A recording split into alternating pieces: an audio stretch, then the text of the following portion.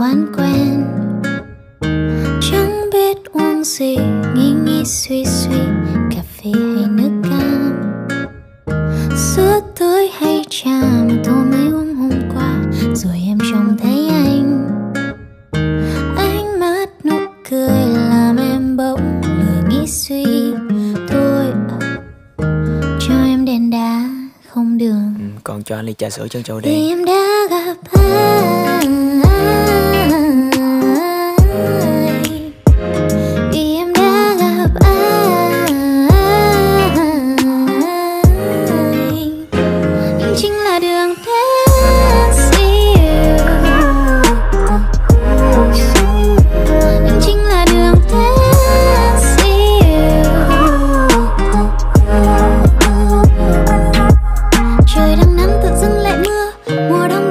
chưa? Hay là anh đã mang mặt trời đi mất Cà phê đắng thật đắng mà em phát. Khen rằng ngon thật ngon, Dù em đây chỉ thích đồ ngọt.